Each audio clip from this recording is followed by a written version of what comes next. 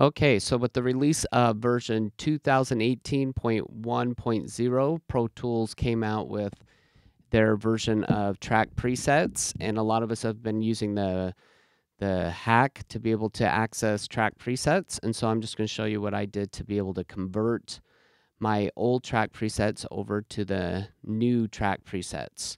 So um, right now you'll see that if I'm to create a new track, I've got all my old track presets here, and then here's the new track preset. So in any case, what I've done to be able to convert them over is you want to go to your folder that for me by default it's in my library or I'm sorry, in my documents.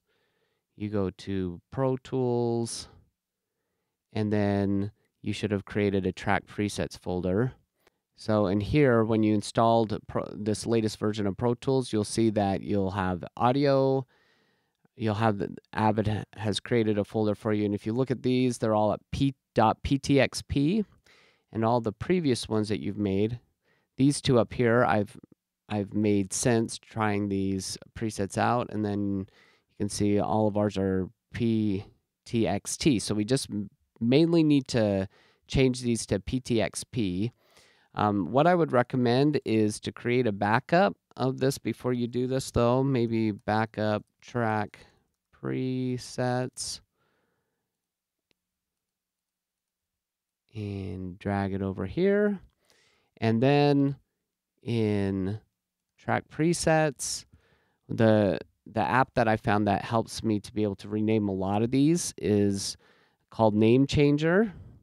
And that is a free app you can download here.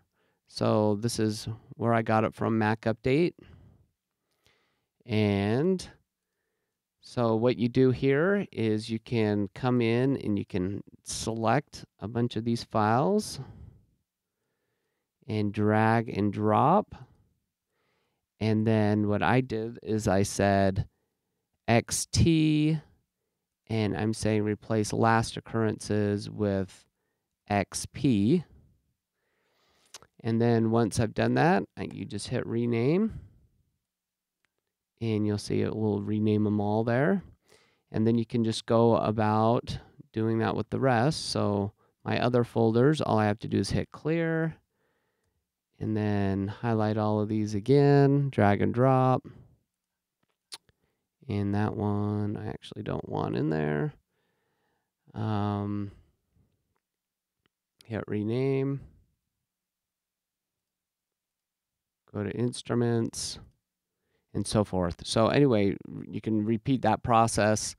Um, once you've done this, you'll see that now when you come over here and try to use one of the new track preset features, such as I'm recalling a track preset, you'll see now I, you'll have the options in here to be able to to change them. So now I can choose to change this preset and there you go.